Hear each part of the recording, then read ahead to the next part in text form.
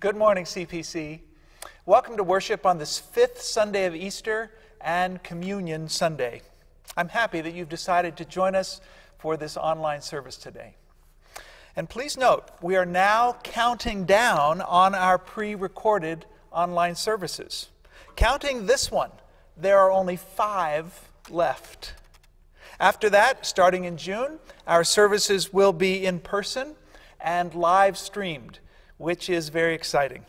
And you'll be hearing more about this in upcoming announcements. But for now, I want to offer special thanks to my friend behind the camera, Tim Hoekstra. Feel free to clap for Tim right now where you're sitting. By the end of May, Tim and I will have pre recorded over 50 online sermons. And on top of that, for Tim anyway, has been all the compiling and editing and additional recordings. Tim, you are a tech warrior. Thank you very much. Now, in addition, we will have one in person service in the month of May, and that's two weeks from now on May 16th. So please remember to RSVP for that in person worship service to Katie, the church office, and remember to wear a mask. And now, please join me in prayer. Growth causing God, be with us today by your Spirit and remind us that we are always on this journey with you. When we think that we have arrived, is when we need to step back and ask ourselves what else needs to be done in order to move forward. For we know with you that there is always another insight to be gained, always another river to cross, always another wall to be broken down, so that your love might be experienced, so that your grace might be administered, so that your justice might be done to all. We pray this in the name of the vine, Jesus Christ. Amen.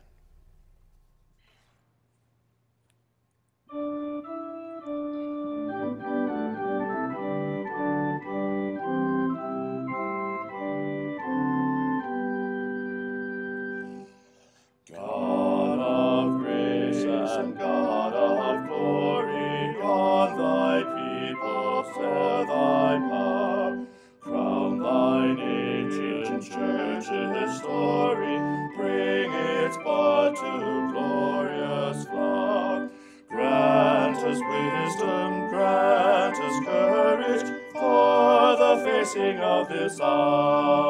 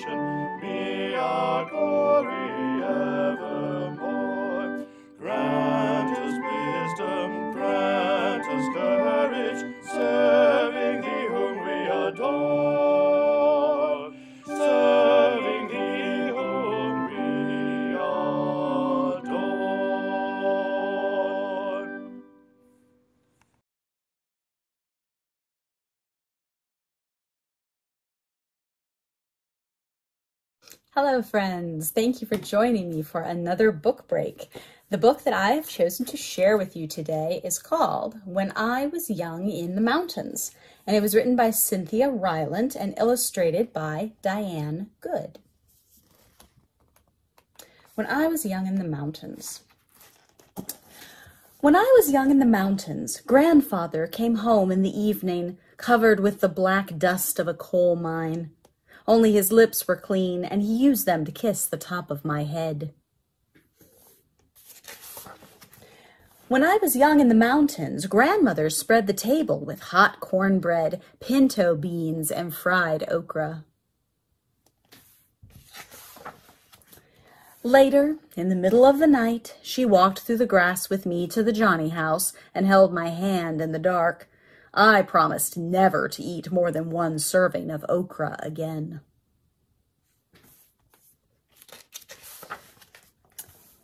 When I was young in the mountains, we walked across the cow pasture and through the woods carrying our towels.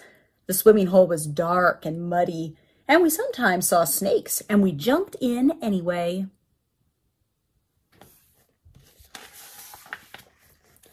On our way home, we stopped at Mr. Crawford's for a mound of white butter. Mr. Crawford and Mrs. Crawford looked alike and always smelled of sweet milk.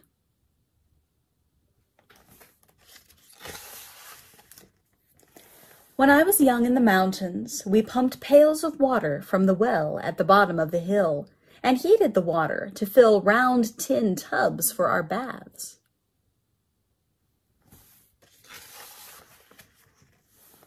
Afterward, we stood in front of the old black stove, shivering and giggling, while grandmother heated cocoa on top.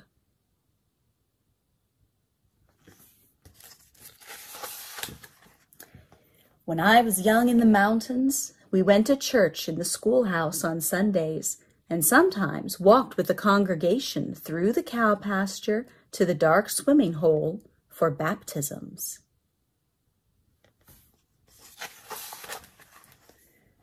My cousin Peter was laid back into the water, and his white shirt stuck to him, and my grandmother cried.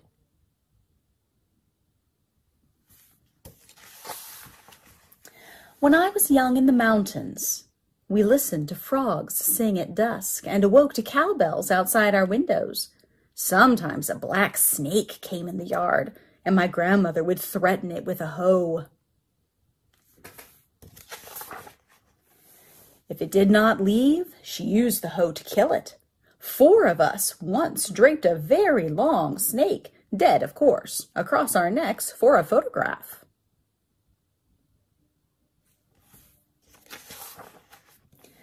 When I was young in the mountains, we sat on the porch swing in the evenings, and grandfather sharpened my pencils with his pocket knife. Grandmother sometimes shelled beans, and sometimes braided my hair. The day, the dogs lay around us, and the stars sparkled in the sky. A bob white whistled in the forest. Bob, bob, bob white.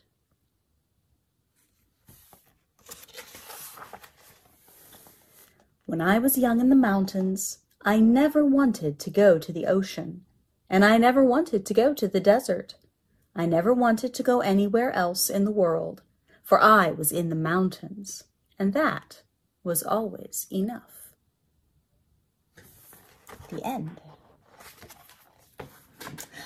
So, friends, I wonder what special things about where you live you would tell stories about to other people the author of this book was talking about where she grew up in the mountains and all of the special experiences that she had there, the food that she ate and where she went swimming and the shops that she would visit and the church that she attended.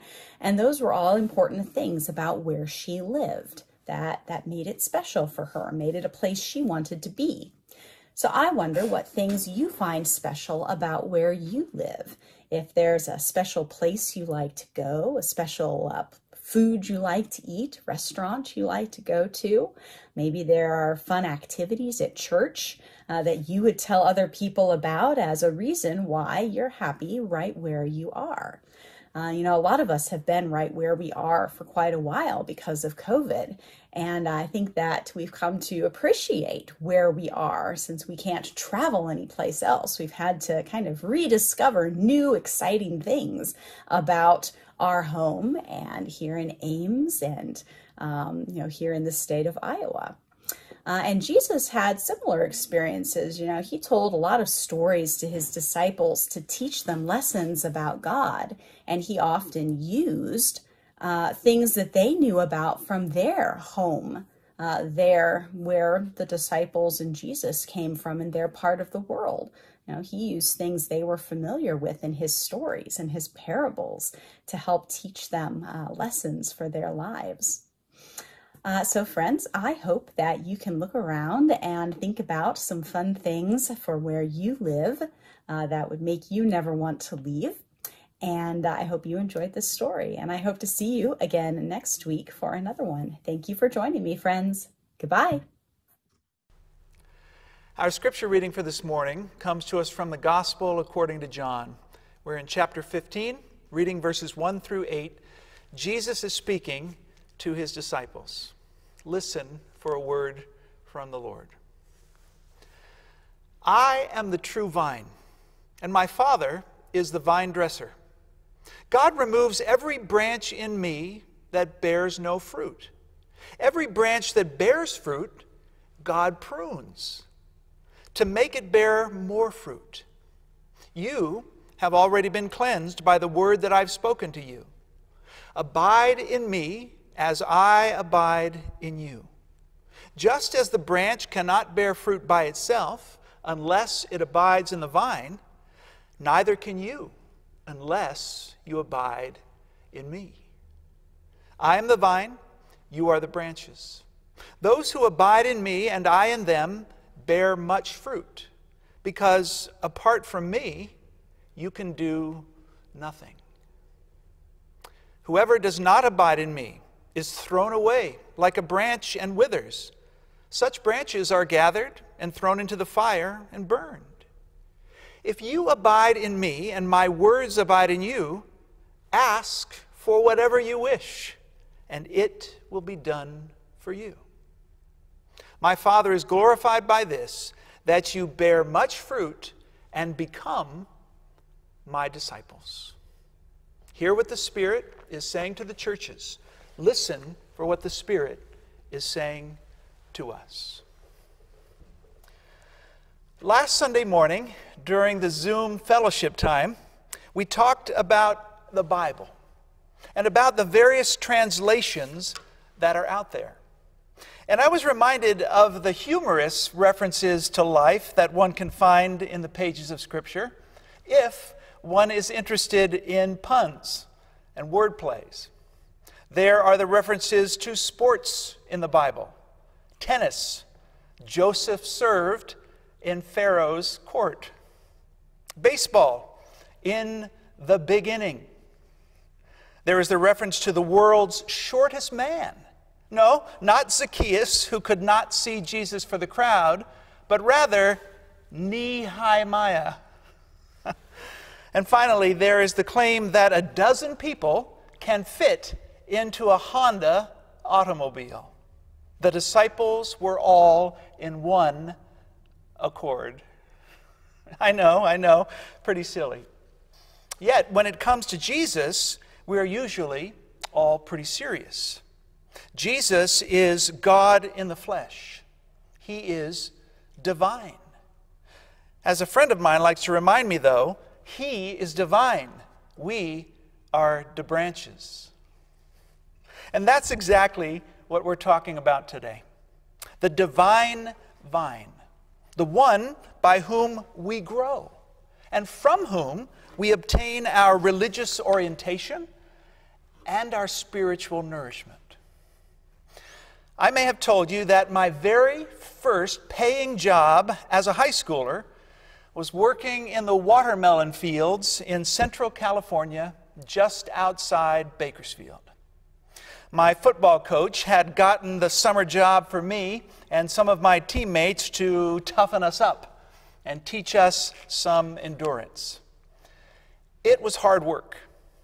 We would arrive at the fields at 4:30 in the morning in order to get started before the intense 100 degree plus heat began to melt your brain and sap your enthusiasm.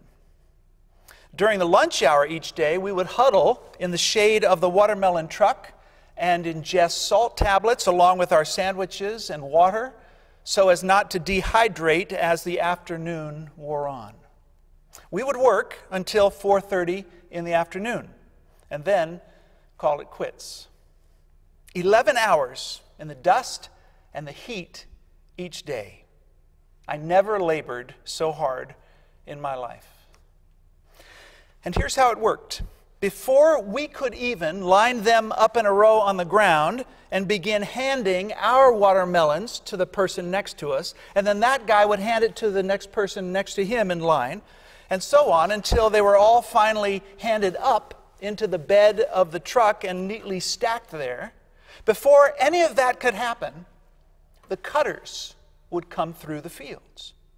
We could see them out in front of us, 40, 50 yards away. Each of them wielded an incredibly sharp knife.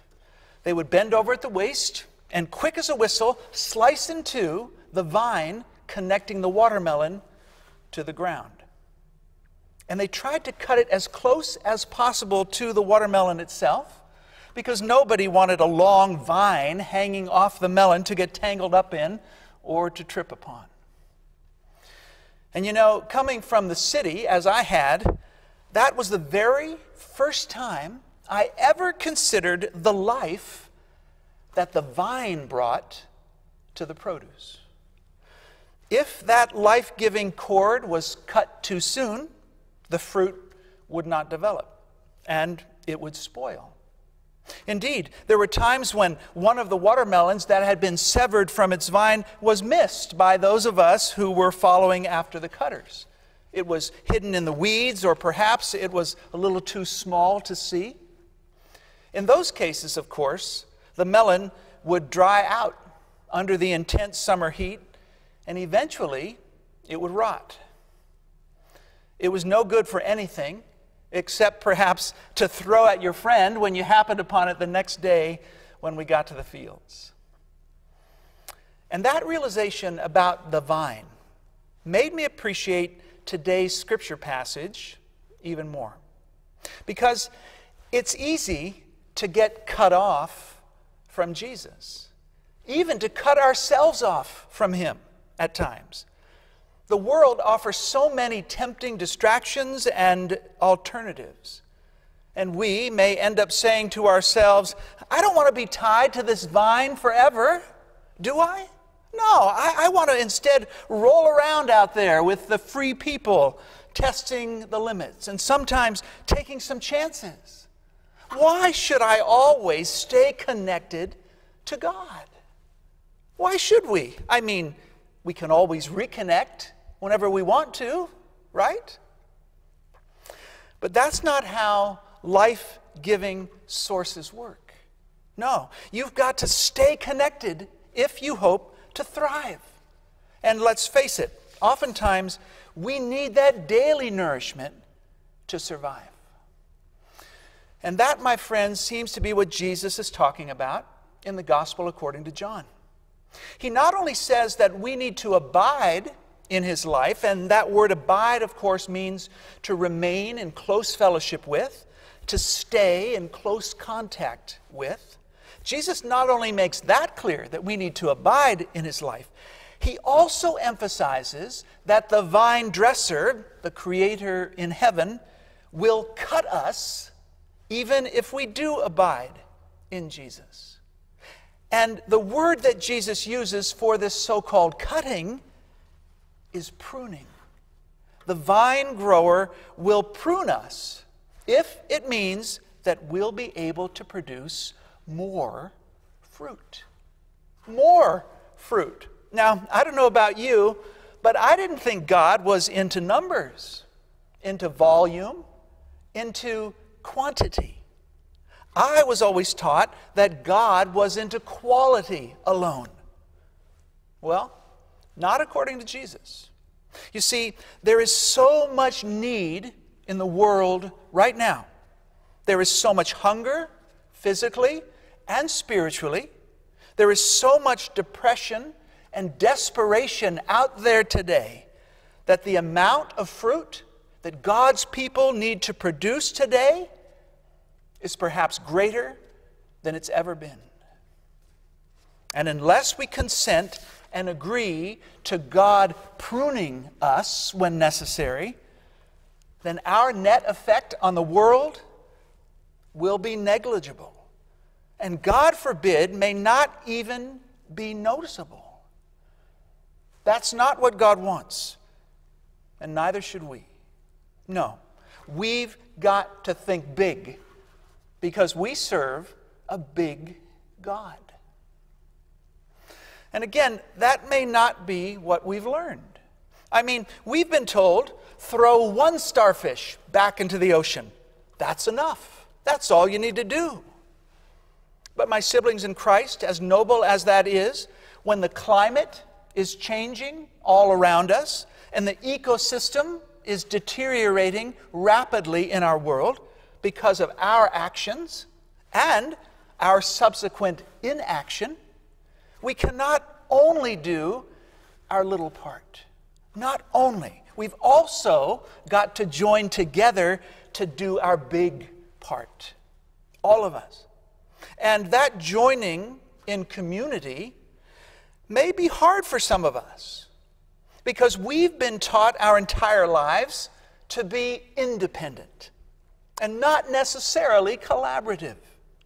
We've been trained from day one to be individualistic, not primarily community minded or even other directed. And this is true even in the church. But God wants to prune us now, to cut us back from our fierce individualism, so as to allow us to grow some more. That's God's plan. Yet God won't proceed without our say so. That's right. You see, if we're trying to fend off all that pruning that God's attempting to do, well, the vine dresser may just allow us and our stubborn free will to do so. And even if God persists in the pruning, as much as we don't like it, we won't be useful to God if we're not amenable to what God is accomplishing in us. For you see, that's the rub about being a Christian. It's not a one time transformation, it's an ongoing change of heart and mind. That's why Jesus says in our reading, My Father is glorified by this, that you bear much fruit and become my disciples. That you become my disciples. Now, correct me if I'm wrong, but the disciples had already been with Jesus for a long time when he says this to them. It was quite a way into Jesus' ministry when he makes this statement to the twelve. What did Jesus mean? Bear much fruit and become my disciples. Weren't they already his followers? Yes and no. For you see, in the Christian life, our discipleship is only as good as our following is of Jesus today. Let me say that again.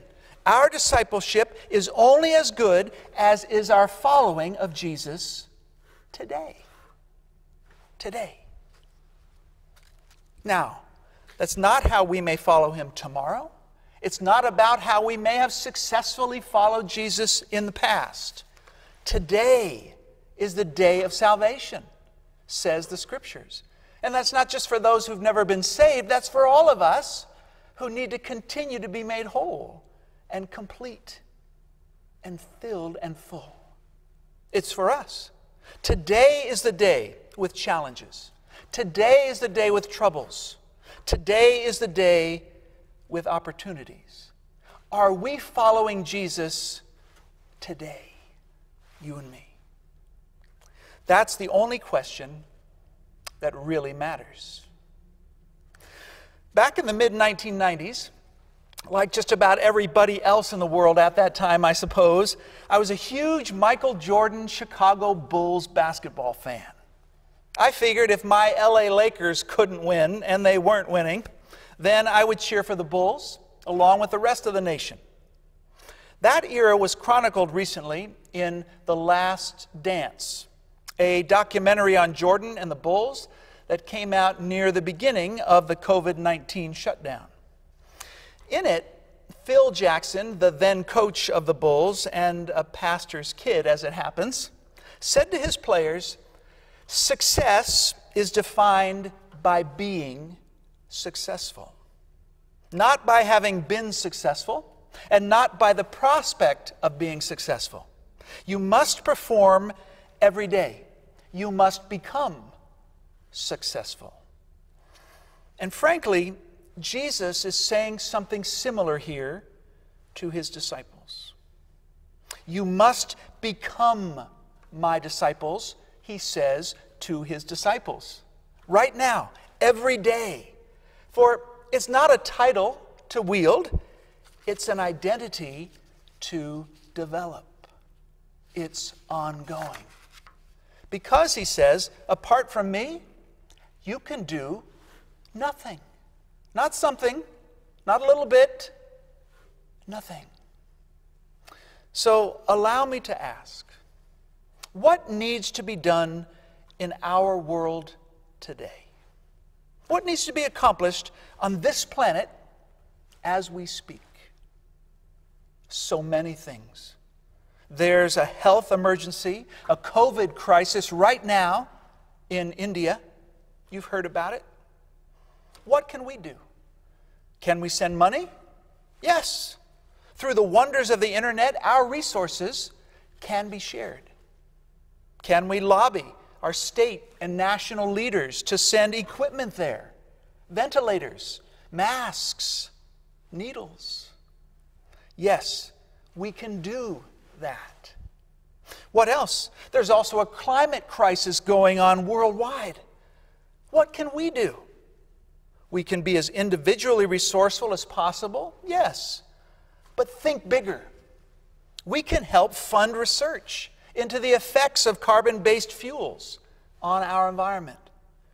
We can boycott products and initiatives that ignore the science of global warming and dismiss the reality of fragile ecosystems. We can do those things. We can speak out when it's time to speak out. We can act when it's time to act. We must. And the list of concerns and problems on this planet is innumerable.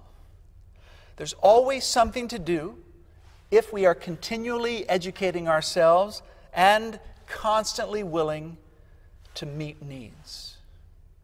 There'll never be a lack of things for us to find to do. I ask further then, are these things part of our discipleship to Jesus Christ.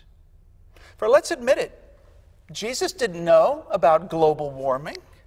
He didn't know what a coronavirus or what the other ribonucleic acid viruses are. Jesus didn't know the phrase Black Lives Matter or that the 14th Amendment to our Constitution promises equal protection under the law for all persons. In addition, he probably never even thought of sexual orientation as a category or of domestic gun violence as a phenomenon. No. If he was not exposed to these things, how can we say that following him today may involve addressing some or all of these important issues? I think you know the answer. It has to do with abiding in the character of Christ.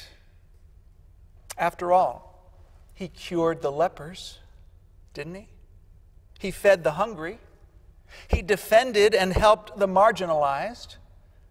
He honored the creation.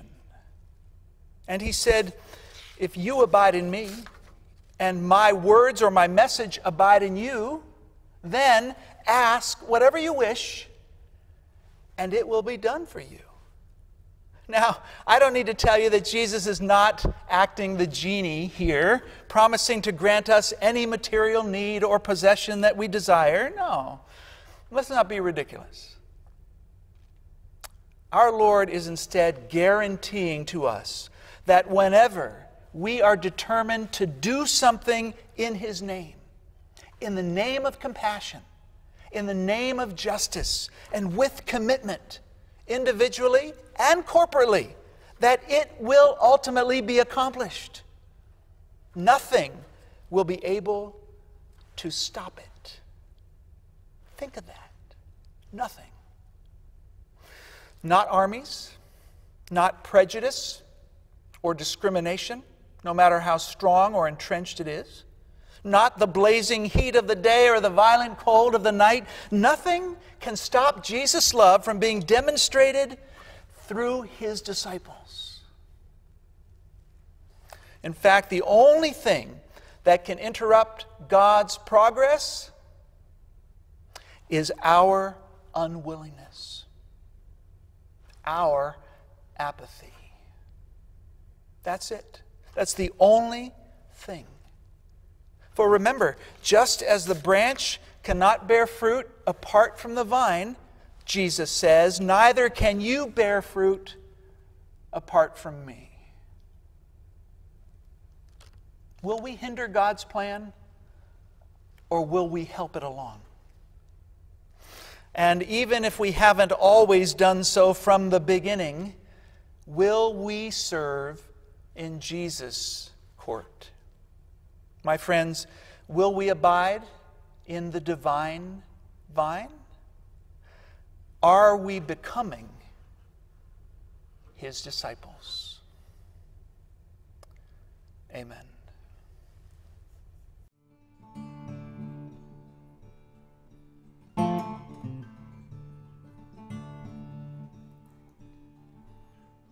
Oh, shame is a prison as cruel as a grave.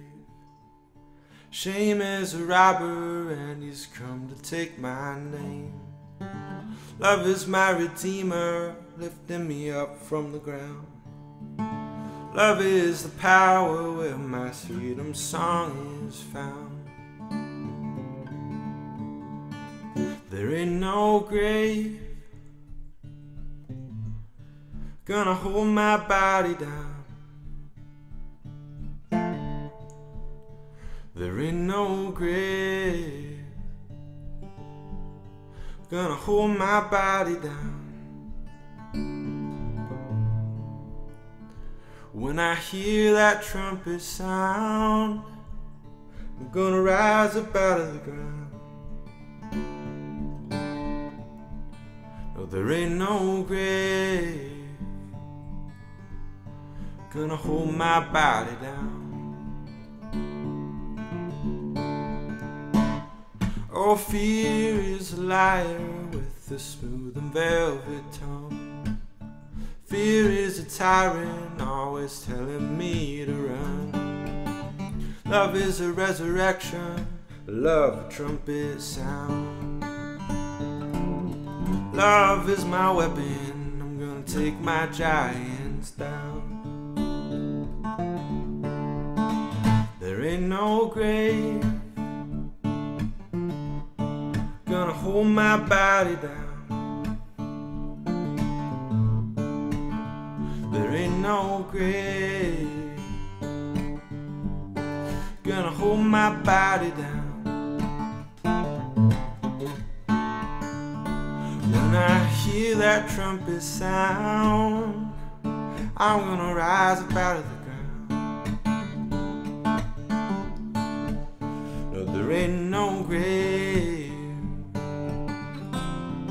gonna hold my body down.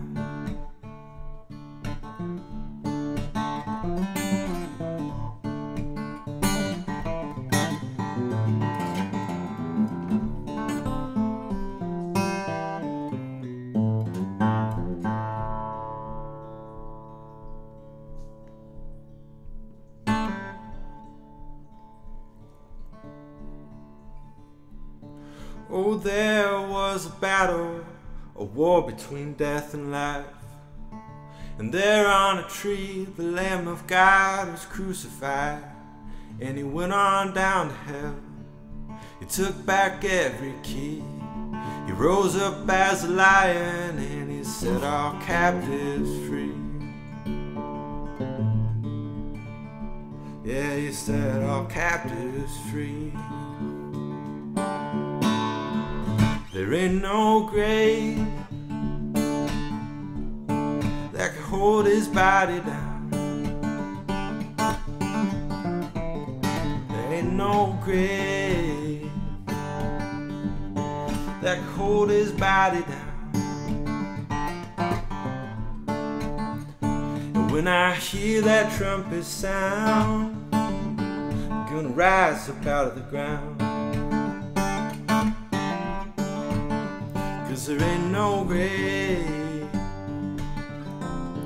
that can hold his body down.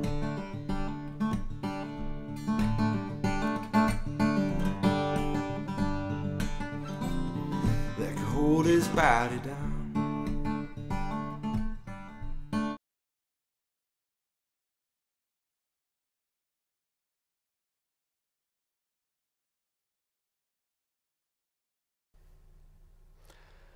My friends, I invite you to the celebration of the Lord's Supper this morning, to the Lord's table.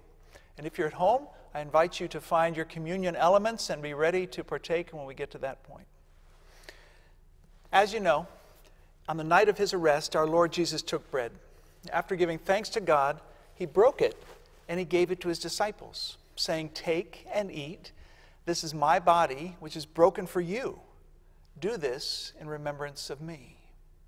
And after supper, in the same manner, our Lord took a cup and he poured it. And he said, This cup is the new covenant in my blood, shed for the remission of sins for many. This do as often as you do it, remembering me. These are God's gifts for the people of God. And as we consider becoming Jesus' disciples day by day, part of it is partaking of Him in our hearts and in our minds. So please find your bread. This is bread of life for you today, and dip it in the cup. This is the cup of salvation. Lift up your hearts. We lift them to the Lord. It is right to give God thanks and praise. Take and eat.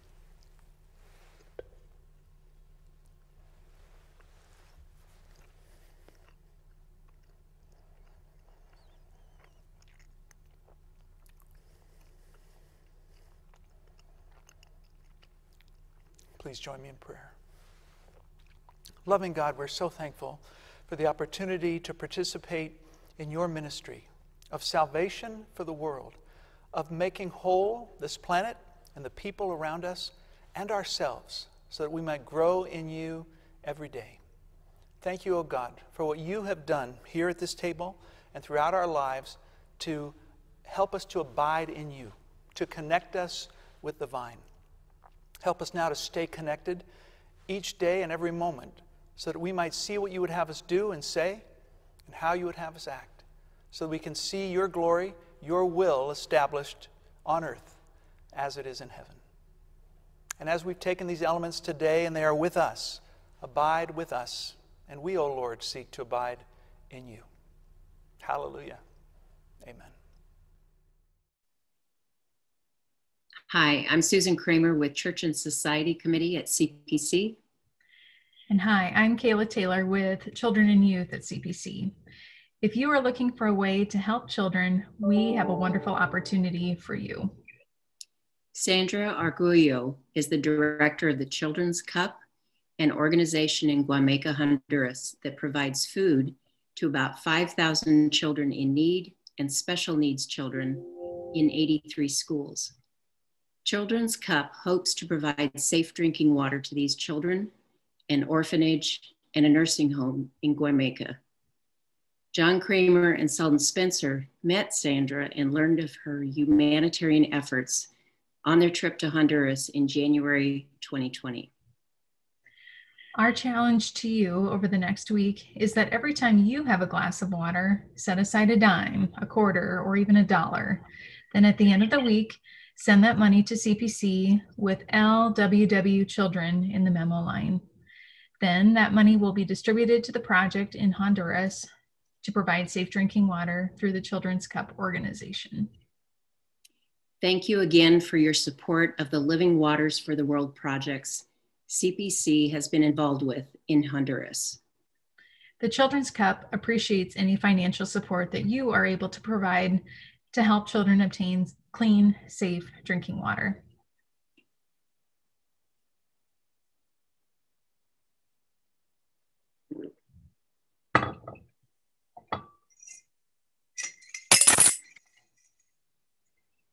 Thank you. The charge and benediction today come to us from the letter of the Colossians. Whatever you do, in word or deed, do everything in the name of the Lord Jesus, giving thanks to God the Father through him.